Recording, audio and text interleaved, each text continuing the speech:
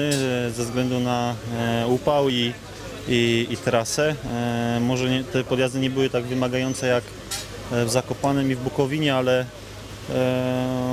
jeden za drugim naprawdę dawał się we znaki. E, Ja bardzo dobrze znałem trasę, znałem te rejony, więc na pewno to było na plus dla mnie. Tak, taki jest cel. E, Zabieram się w ucieczki na tym wyścigu, e, szukam swojej szansy e, na wygranie etapu w ucieczkach lub na wygraniu który, klasyfikacji górskiej.